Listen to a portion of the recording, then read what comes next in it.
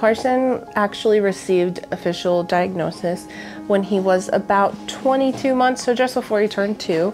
They pretty much thought it was Duchenne's, but they wanted to confirm it with a genetic test. It was really hard to accept that your kid can't just do whatever they want to do, because that's all that any parent wants to their kid.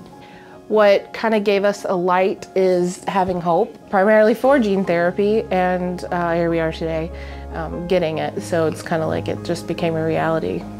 We're really glad that Dr. Proud reached out to us because we wouldn't be here today if it weren't for her giving us a call and um, not giving up on us. Our experience at CHKD has been really amazing and we're just really lucky to be here. It's really um, emotional because when your kid has a diagnosis like this, it's really hard to trust people with their care. And uh, moving over here has been just really amazing. And we just feel really supported. We're really happy to be here.